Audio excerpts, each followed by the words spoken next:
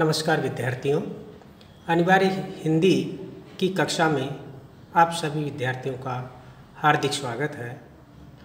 हम चर्चा कर रहे थे अनिवार्य हिंदी के गद्य भाग, उसके तीसरे पाठ, राम वृक्ष बैनीपुरी और उनका निबंध, गेहूँ बनाम गुलाब।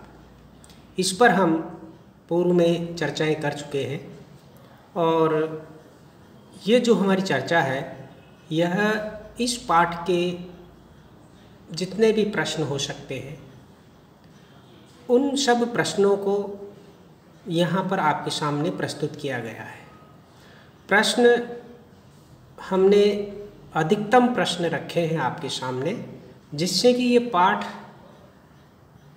जो निबंध है गेहूँ बनाम गुलाब और राम रक्ष बैनीपुरी के जीवन और साहित्य यात्रा और योगदान से संबंधित हर चीज़ एक बार फिर आपके सामने हो और आपको अधिक से अधिक इस पाठ के बारे में जानकारी प्राप्त हो सके। तो चलिए देखते हैं। पहला प्रश्न है, गेहूँ बनाम गुलाब किस शैली का निबंध है? दूसरा प्रश्न है, गेहूँ बनाम गुलाब किस प्रकार का निबंध है? तीसरा प्रश्न है राम वृक्ष बैनीपुरी पत्रकारिता के युग निर्माता के रूप में भी जाने जाते हैं। द्वारा संपादित पत्र पत्रिकाओं के नाम बताइए। और जो अगला प्रश्न है राम वृक्ष बैनीपुरी के निबंध संग्रहों के नाम बताइए। और पांचवा प्रश्न है राम वृक्ष बैनीपुरी द्वारा रचित रेखाचित्र और संस्मरण के नाम का नाम बताइए। तो उत्तर ये आपके सामने है। पहला प्रश्न है उसका उत्तर होगा गद्य गीत शैली या प्रतीकात्मक शैली। रामवृक्ष बैनीपुरी ने अधिकतर निबंध प्रतीकात्मक रूप में लिखे हैं जैसे गेहूँ बनाम गुलाब में भी गेहूँ और गुलाब प्रतीकात्मक शब्द है। दूसरे प्रश्न का उत्तर है ललित निबंध यानी कि गेहूँ बनाम गुलाब एक ललित कोटि का निबंध है। तीसरा प्रश्न है कि रा, रामवृक्ष बैनीपुरी द्वारा संपादित पत्र पत्रिकाओं के नाम तो वह है तरुण भारत, किसान मित्र, बालक, युवक, कर्मवीर, जनता, हिमालय, नई धारा आदि पत्र पत्रिकाओं का संपादन उन्होंने किया और रामवृक्ष बैनीपुरी को पत्रकारिता के इतिहास में, या कहें कि पत्रकारिता के क्षेत्र में, एक युग निर्माता पत्रकार के रूप में जाना जाता है। उन्होंने हिंदी पत्रकारिता को एक नई दिशा दी, जिसमें राष्ट्रीय और सामाजिक चेतना निहित है। राम वृक्ष बैनीपुरी के निबंध संग्रहों के नाम लिखिए तो उत्तर होगा, गेहूँ और गुलाब। ठीक है, दूसरा है माटी की मूर्तें, वंदे वाणी विनायको, मशाल। ये उनके निबंध संग्रह है। आपको इन संग्रहों के नाम, कहानी के नाम से भी मिल सकते हैं। क्योंकि इन्होंने जो निबंध लिखे हैं, वो संस्मरण की भांति भी है, रेखाचित्र की भांति भी है, कई सारी शैलियाँ इनमें आकर के मिल गई है। इसलिए जब ये पूछा जाएगा कि राम वृक्ष बैनीपुरी ने कौन कौन से रेखाचित्र लिखे हैं तो इन संग्रहों के नाम भी आपके सामने वहाँ पर होंगे। राम वृक्ष बैनीपुरी द्वारा रचित रेखाचित्र और संस्मरण का नाम बताइए तो देखिए, माटी की मूर्तें, लाल तारा, जंजीरें और दीवारें मील के पत्थर। अगले, दूसरा प्रश्न है। रामवृक्ष बैनीपुरी के उपन्यास का नाम बताइए तो उत्तर होगा पतितों के देश में। दूसरा प्रश्न है रामवृक्ष बैनीपुरी ने किस प्रकार के निबंध लिखे हैं? तो भावात्मक, संस्मरणात्मक, प्रतीकात्मक। अगला प्रश्न है गेहूँ बनाम गुलाब निबंध में गेहूँ किसका प्रतीक है? उत्तर होगा, श्रम का प्रतीक है। यहाँ पर ये ध्यान देने की बात है कि गेहूँ बनाम गुलाब निबंध में ये जो दो शब्द हैं, ये इनमें प्रतीकात्मक विस्तार है कि गेहूँ को कहीं श्रम का प्रतीक माना गया है, कहीं भौतिकता का प्रतीक माना गया है। तो यहाँ पर अगर भौतिकता आता है तो वह भी उत्तर मान्य होगा। पर यहाँ पर हम मानते हैं कि गेहूँ प्रारंभिक तौर पर श्रम का प्रतीक है मेहनत का प्रतीक है शारीरिक श्रम का प्रतीक है। अगला प्रश्न गेहूँ बन और गुलाब के बीच आवश्यक है। निबंध के आधार पर, पर हम कह सकते हैं कि लेखक ने माना है कि गेहूँ और गुलाब में संतुलन आवश्यक है यानी कि भौतिक जीवन और आध्यात्मिक जीवन। शारीरिक बल और मानसिक बल। जीवन में इन दोनों का सामंजस्य आवश्यक है। हर जगह शारीरिक बल काम नहीं करता और हर जगह मानसिक बल काम नहीं करता। लेकिन फिर भी लेखक का जो उद्देश्य है, वो यह है कि व्यक्ति के अंदर कम से भी कम सांस्कृतिक चेतना, मनोवृत्तियों का उन्नयन तो होना ही चाहिए। इसलिए लेखक ये मानकर चलते हैं कि जीवन में शारीरिक बल, मानसिक बल, नैतिक बल इन सब का सामंजस्य होना ज़रूरी है। अगला प्रश्न है, मैदान जोते जा रहे हैं, बाग उजाड़े जा रहे हैं। किसके लिए? तो उत्तर होगा गेहूँ के लिए। अगला प्रश्न है, गेहूँ बनाम गुलाब निबंध में गुलाब किसका प्रतीक है? तो उत्तर होगा विलास का या कि मानसिक वृत्तियों का। अगला प्रश्न है, किससे हमारा मानस तृप्त होता है? तो उत्तर होगा गुलाब से। मानव को मानव किसने बनाया? उत्तर होगा गुलाब ने। कहने का तात्पर्य यह कि शारीरिक बल पशुओं में भी होता है, शारीरिक भूख पशुओं में भी होती है। लेकिन अपने मानस का, अपनी मानसिकता का, अपनी मनोवृत्तियों का विकास करने की जो ललक होती है, वह केवल इंसान में ही होती है। इसीलिए कहा गया है कि मानव को मानव, इंसान को इंसान बनाने का काम है। वह गुलाब ने किया, अर्थात उसकी मनोवृत्तियों के विकास ने किया है। अगला प्रश्न है, भरी जवानी में कौन सिस्कियाँ ले रहा है? तो पाठ के आधार पर, जैसा कि पाठ में प्रसंग आया है, गुलाब। अगला प्रश्न है, किसको महत्व देने के चक्कर में मानव अपनी शांति खो रहा है? उत्तर होगा, गेहूँ को या कि भौतिकता को। अगला प्रश्न है, अब नए मानव की नई आकांक्षा हो। निबंध के अनुसार नए मानव की नई आकांक्षा क्या होना चाहिए? तो उत्तर होगा, गुलाब की संस्कृति का पल्लवन होना। तो देखिए, गेहूँ पर गुलाब की विजय। यानी कि शारीरिक बल पर मानसिक बल की विजय होना चाहिए। मानसिक रूप से व्यक्ति को स्वस्थ होना चाहिए। सांस्कृतिक जीवन की दृष्टि से व्यक्ति को सशक्त होना चाहिए, मनोभावों में का विकास होना चाहिए, मनोभावों में किसी भी प्रकार का विकार ना हो, ऐसा मानस, ऐसा व्यक्तित्व बनना चाहिए। तो लेखक, इस निबंध में, संपूर्ण निबंध में लेखक की जो आकांक्षा है, वो यह है कि गेहूँ पर गुलाब की विजय होना चाहिए, शरीर पर मन की विजय होना चाहिए, भौतिकता पर आध्यात्मिकता की विजय होना चाहिए। अगला प्रश्न है देश की आज़ादी मिलने पर, देश को आज़ादी मिलने पर गुलाब किसका प्रतीक बन गया? तो यह है स्वाधीनता का प्रतीक। अगला प्रश्न है अब प्रतीक बन गया है हड्डी तोड़ने वाले, थकान वा, थकाने वाले, उबाने वाले, नारकीय यंत्रणाएँ देने वाले, श्रम का। किसके लिए कहा गया है? अर्थात अब गेहूँ, उत्तर होगा गेहूँ के लिए। गेहूँ अब एक प्रकार से केवल पोषण तक सीमित रहा, नहीं रहा। वो ऐसे श्रम का प्रतीक बन गया है, जो थकाने वाला है, उबाने वाला है, नर्क समान यंत्रणा देने वाला है, भूख मिटाने वाला नहीं रहा। अगला प्रश्न है, गेहूँ बनाम गुलाब निबंध के अनुसार प्रथम संगीत का स्वर कब गूंजा? उत्तर होगा, गेहूँ को उखल में कूटने और चक्की में कूटने पीसने के समय ही संगीत का प्रारंभ हो गया था, यानी कि आदिम काल में ही प्रारंभ हो गया था। अगला प्रश्न है, प्राचीन काल में से उपवास, व्रत, तपस्या आदि उसी चेष्टा के भिन्न भिन्न रूप हैं।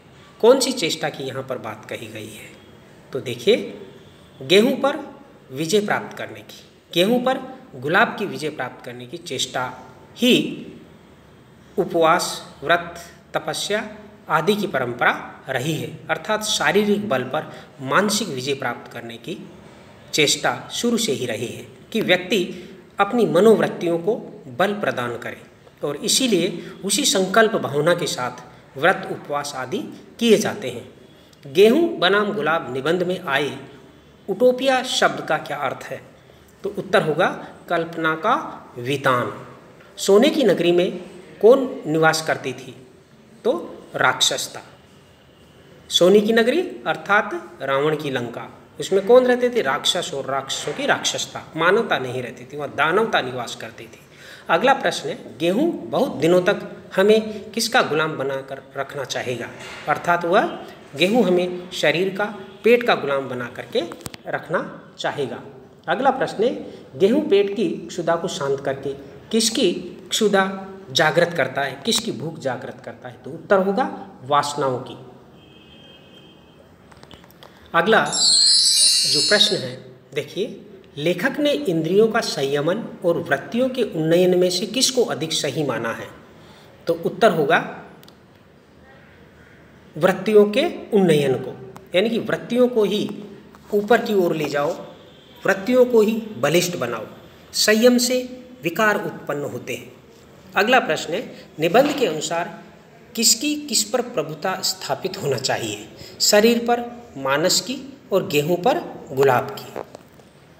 वृत्तियों को वश में करने के लिए मनोविज्ञान क्या उपाय बतलाता है? तो उत्तर होगा, इंद्रियों का संयमन व वृत्तियों का उन्नयन। अगला प्रश्न है, गेहूँ और गुलाब में लेखक संतुलन स्थापित करना क्यों चाहता है? क्योंकि लेखक इसलिए संतुलन स्थापित करना चाहता है कि मानव सुखी और आनंद पूर्वक रहे या सानंद रहे। अगला प्रश्न है, हमारे ऋषि मुनि क्या उपदेश देते आए हैं? तो उत्तर होगा, संयम का। विज्ञान ने गेहूँ के बारे में क्या बतलाया है? उत्तर होगा, विज्ञान ने गेहूँ के बारे में बताया है कि पृथ्वी और आकाश के कुछ तत्व एक विशेष प्रक्रिया से पौधे की बालियाँ संग्रहित करके गेहूँ बनाते हैं। यानी कि विज्ञान ने गेहूँ के बनने की प्रक्रिया को समझाया है। अगला जो प्रश्न है, इसके श्रम के साथ संगीत बंधा हुआ था और संगीत के साथ श्रम, इस पंक्ति का क्या आशय है? यह पंक्ति निबंध से ली गई है और इसका जो सामान्य सा अर्थ है वो यह है कि जो प्राचीन मानव है, वह उसके जीवन में संगीत और श्रम का संतुलन था और वह सुखी और आनंदित था। यही भाव इस पंक्ति में दिखाया गया है। देखिए, इस पंक्ति का भाव यह है कि जब मानव के जीवन में गेहूँ और गुलाब का संतुलन रहा, तब तक कमाता हुआ गाता था और गाता हुआ कमाता था। इस प्रकार श्रम और संगीत दोनों एक साथ मिले हुए थे। यह जीवन में संतुलन की स्थिति का एक उदाहरण है। अगला प्रश्न है, गेहूँ और मानव शरीर में क्या संबंध है? तो उत्तर होगा, गेहूँ खाकर ही मानव अपनी चिर बुभुक्षा को शांत करता है, अतः गेहूँ और मानव शरीर में घनिष्ठ संबंध है। अगला प्रश्न है, वृत्तियों के उन्नयन से लेखक का क्या आशय है?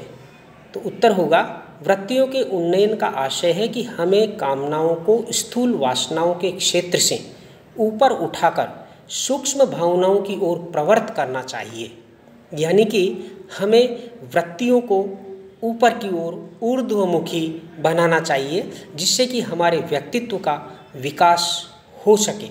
और फिर शारीरिक आकर्षण हमें लुभा नहीं सकता। किसके लिए मैदान जोते जा रहे हैं, बाग उजाड़े जा रहे हैं, प्रश्न पूर्व में भी आ चुका है, गेहूँ के लिए।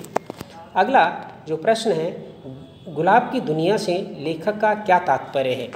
तो उत्तर होगा, मानस का संसार, यानी कि मन का संसार। मनोवृत्तियों का संसार। अगला प्रश्न है देखिए। जब तक मानव के लिए जब तक मानव के जीवन में गेहूँ और गुलाब का संतुलन रह, रहता है तो जीवन कैसा रहता है? तो उत्तर होगा सुखी और सानंद यानी कि सुखपूर्वक और आनंदपूर्वक रहता है। जब इन दोनों चीज़ों का संतुलन रहता है तो व्यक्ति समाज, सभ्यता सब सुखी रहते हैं। अगला प्रश्न है, प्रचुरता में भी राक्षसता ना आवे, इसके लिए क्या उपाय है? यानी कि अधिक भौतिक वस्तुओं का संग्रह हो जाता है, व्यक्ति अधिक संपन्न हो जाता है तो उसमें राक्षसता का सहज अंकुरण होने लगता है। तो इसके लिए क्या करना चाहिए? लेखक ने बताया है कि प्रचुरता में भी राक्षसता ना आवे, इसके लिए क्या उपाय है? तो वृत्तियों का संतुलन और इंद्रियों का संयमन। अगर इन दोनों का अभ्यास किया जाए तो प्रचुरता कितनी भी हो वह मानव कल्याण में लगेगी, व्यक्ति के अहम के विकास में नहीं। अगला प्रश्न है, रामरक्ष बेनीपुर का जन्म कब और कहाँ हुआ था? तो उत्तर होगा, सन 1902 ईस्वी, बेनीपुर गाँव, मुजफ्फरपुर, बिहार में। और इसी गाँव के आधार पर, अपने गाँव के आधार पर ही इन्होंने अपने नाम के पीछे बेनीपुरी शब्द लगाया है। अगला प्रश्न है, अब वह दुनिया आने वाली है। जिसे हम गुलाब की दुनिया कहेंगे, लेखक किस की बात कर रहा है? तो उत्तर होगा, शारीरिक आवश्यकताओं के बंधन से मुक्ति और मानव संतुष्टि, मानसिक विकास, गुलाब की संस्कृति के स्वच्छंद वातावरण के आगमन की बात कर रहा है। यानी कि गुलाब की दुनिया का मतलब है शारीरिक बंधनों से मुक्ति, शारीरिक आकर्षण से, शारीरिक मोह से मुक्ति। अगला जो प्रश्न है, गेहूँ की दुनिया से क्या तात्पर्य है? तो गेहूँ की दुनिया से तात्पर्य है भौतिकता की दुनिया, जिसकी तरफ़ आज लोग भाग रहे हैं, दौड़ रहे हैं। क्या प्रचुरता मनुष्य को सुख और शांति दे सकती है? नहीं दे सकती। उत्तर होगा, नहीं दे सकती, क्योंकि प्रचुर मात्रा किसी भी चीज़, भौतिकता की प्रचुरता अगर आ जाएगी तो व्यक्ति में वासनाओं का जागरण होगा, व्यक्ति में अहम का जागरण होगा। इसलिए वो सुख और शांति नहीं दे सकती। अगला प्रश्न है, मानव शरीर में पेट का स्थान खाली जगह है, रिक्त स्थान की पूर्ति कीजिए, उत्तर होगा नीचे। गुलाब की दुनिया किसकी प्रतीक है? तो ये है, मानस की प्रतीक है, मन की प्रतीक है, मनोवृत्तियों की प्रतीक है, व्यक्ति के भावनात्मक संसार की प्रतीक है। आगे देखिए, लेखक के अनुसार आने वाली दुनिया को हम कौन सी दुनिया कहेंगे? तो लेखक के अनुसार गुलाब की दुनिया, अर्थात भावात्मक और सांस्कृतिक दुनिया कहेंगे। लेखक की भावना है, लेखक का मानना है कि ऐसी दुनिया आने वाली है, उसका विकास हो रहा है, उसकी आहट हो रही है। अगला प्रश्न है, इंद्रिय संयमन और वृत्तियों का उन्नयन से लेखक का क्या तात्पर्य है? तो उत्तर होगा, इंद्रिय संयमन, अर्थात इंद्रियों पर नियंत्रण और वृत्तियों का उन्नयन अर्थात वृत्तियों, मनोवृत्तियों को ऊर्ध्वमुखी बनाना या करना, उनको उच्च स्तर पर ले जाना। अगला प्रश्न है, इसका सांवला दिन में गाय चराता था, रात में रास रचाता था? किसके लिए कहा गया है? यहाँ सांवला शब्द किसके लिए कहा गया है? तो उत्तर होगा भगवान श्री कृष्ण के लिए, जो कि दिन में गाय चराते थे और रात में रास रचाते थे। यानी कि जीवन में गेहूँ और गुलाब दोनों की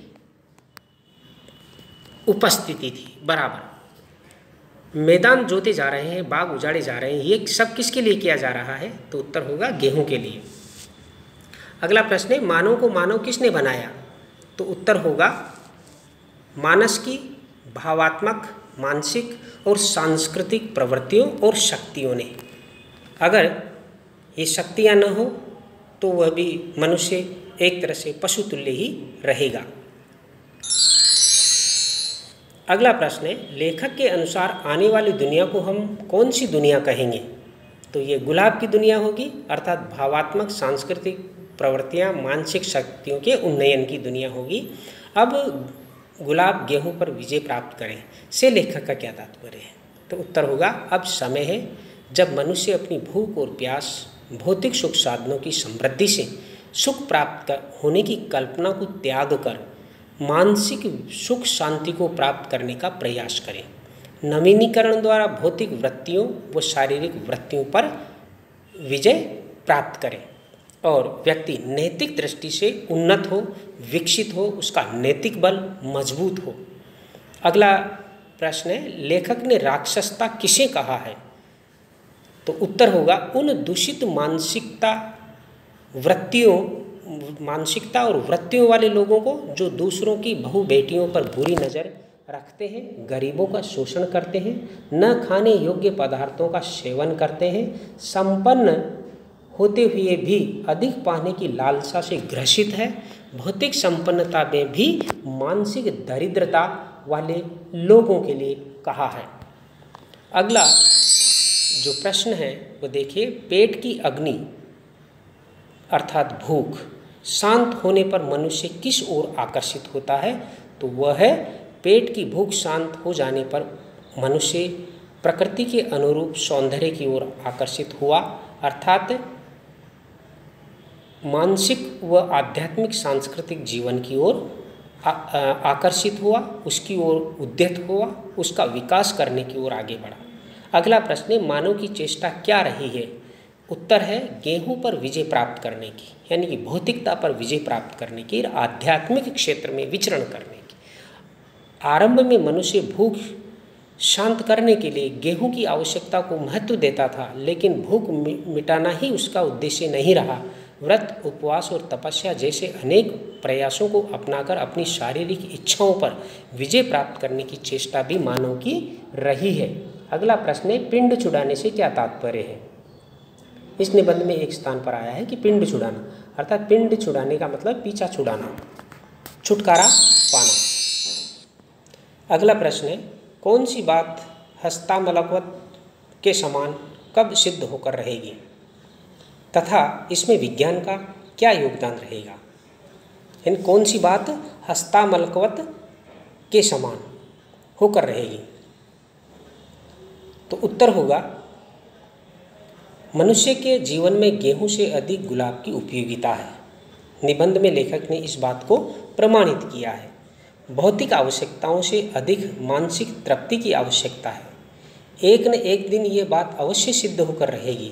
जब मनुष्य का ध्यान गेहूँ अर्थात भौतिक संसाधनों को जुटाने से होने वाले कष्टों की ओर जाएगा, यह बात सिद्ध हो जाएगी। इसके लिए विज्ञान को सृजनशील बनना होगा।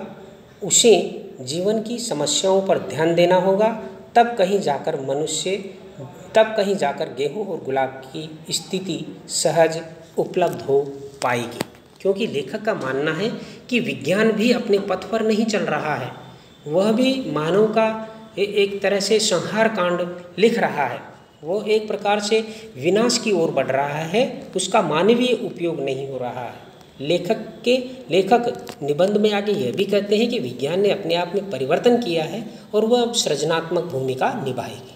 वर्तमान में किसकी दुनिया समाप्त होने के कगार पर है? तो उत्तर होगा, वर्तमान में गेहूँ की अर्थात भौतिकता की दुनिया समाप्त होने वाली है।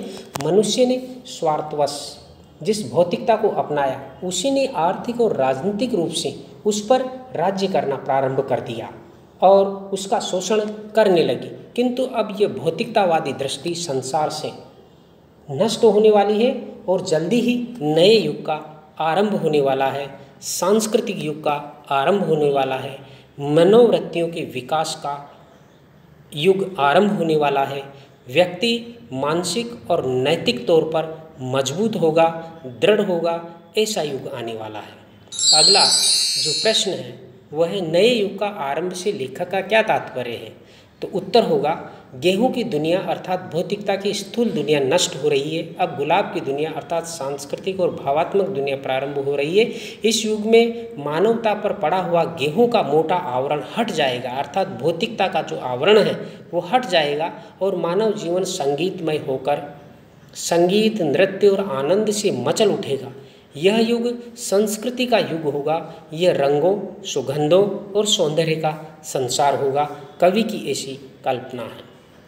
अगला जो प्रश्न है, इंद्रियों के संयमन और वृत्तियों के उन्नयन से आप क्या समझते हैं? यह क्यों ज़रूरी है? अंतर का भी विश्लेषण कीजिए। तो उत्तर होगा, इंद्रिय संयम से तात्पर्य है अपनी इंद्रियों पर नियंत्रण करना, पाना और वृत्तियों का का उन्नयन का अर्थ है अपने आचरण को उन्नत बनाना, अपनी वृत्तियों को ऊपर की ओर उठाना, अर्थात अपने नैतिक बल का विकास करना, अर्थात इंद्रिय संयम और वृत्ति के उन्नयन से आशय है अपनी इंद्रियों पर संयम रखकर अपने आचरण को ऊपर उठाना, ऐसे कार्य करना जिससे किसी को कोई चोट अथवा नुकसान नहीं पहुँचे।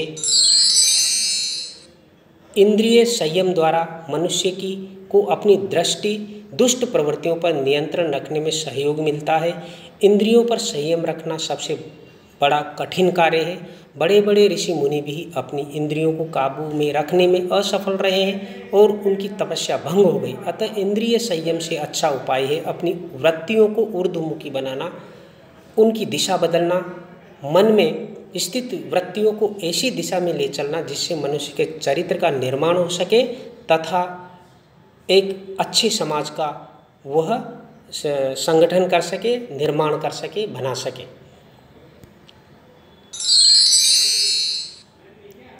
अगला प्रश्न है, रामरक्ष बेनीपुरी का प्रसिद्ध उपन्यास किस विषय पर आधारित है?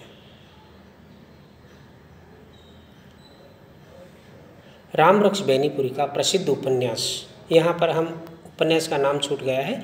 उपन्यास का नाम मैं मौखिक तौर पर आप लोगों को बता देता हूँ कि उपन्यास है उनका पतितों के देश में। वह उपन्यास उनके जेल जीवन पर आधारित है। रामरक्ष बेनीपुरी की प्रसिद्ध रचना माटी की मूर्तियाँ किस विधा पर आधारित है? तो उत्तर होगा रेखा चित्र है, निबंध संग्रह है। चूँकि कई रचनाएँ ऐसी होती है, जो रेखा चित्र होते हुए भी संस्मरण होती है, संस्मरण शैली में लिखी गई होती है, और निबंध होते हुए भी कहानी जैसा प्रतीत होता है। तो यहाँ पर माटी की मूर्तें, निबंध संग्रह भी है रेखा चित्र भी है। अगला प्रश्न है, रामरक्ष बेनीपुरी के सम्मान में बिहार सरकार द्वारा कौन सा पुरस्कार दिया जाता है? तो इसका उत्तर होगा, उनके सम्मान में बिहार सरकार द्वारा वार्षिक अखिल भारतीय रामरक्ष बैनीपुरी पुरस्कार दिया जाता है। महत्वपूर्ण प्रश्न है। अगला प्रश्न है, भारतीय डाक सेवा द्वारा रामरक्ष बैनीपुरी के सम्मान में भारत का भाषाई सौहार्द बनाने मनाने हेतु भारतीय संघ के हिंदी को राष्ट्रभाषा अपनाने की अर्धशती में या इसके उपलक्ष्य में डाक टिकटों का एक संग्रह कब जारी किया गया था तो इसका उत्तर होगा उन्नीस सौ निन्यानवे में। अगले पेज पर देखेंगे। अगला प्रश्न है, रामरक्ष बेनीपुरी को बिहार हिंदी साहित्य सम्मेलन के संस्थापकों में अग्रणी माना जाता है। बेनीपुरी जी, इसके महामंत्री कब से कब तक रहे हैं? तो उत्तर होगा सन 1946 से 1950 तक। क्वेश्चन नंबर सड़सठ है राम रामरक्ष बेनीपुरी की रचनाएँ। जय प्रकाश, नेत्रदान, सीता की माँ, विजेता, मील के पत्थर, गेहूँ और गुलाब किस विषय पर से संबंधित है? तो उत्तर होगा, साहित्यकारों के सम्मान से संबंधित। उन्होंने साहित्यकारों के सम्मान में काफ़ी कुछ लिखा है और इस रूप में रामरक्ष बेनीपुरी की ख्याति है।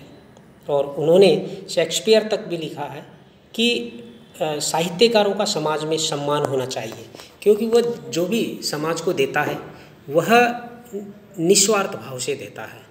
और ऐसे महान विचारकों का, महान दार्शनिक साहित्यकारों का समाज में सम्मान होना चाहिए, इस संदर्भ में उन्होंने ये रचनाएँ लिखी है, साहित्यकारों के सम्मान से संबंधित। अगला प्रश्न है, गेहूँ और गुलाब निबंध संग्रह में संकलित निबंध किस प्रकार के निबंध है? तो उत्तर होगा, प्रतीकात्मक निबंध। लगभग आपके ये प्रश्न यहाँ पर समाप्त होते हैं। आप सभी का बहुत बहुत धन्यवाद। अगली जो चर्चा करेंगे, वह वैसे ये पाठ, इस पाठ पर सारी चर्चाएँ हो चुकी हैं।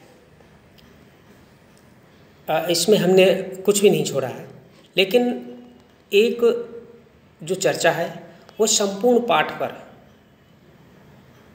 करेंगे और जिसमें पूरे पाठ को एक ही चर्चा में खत्म करेंगे और वो सार संक्षेप से संबंधित होगा कि रामरक्ष बैनीपुरी कौन है, उनकी रचनाएँ कौन कौन सी है और उनका जो निबंध है, गेहूँ, बनाम, गुलाब, उसका बीज भाव क्या है और जो अन्य महत्वपूर्ण प्रश्न हैं, उनको इस चर्चा में शामिल करेंगे।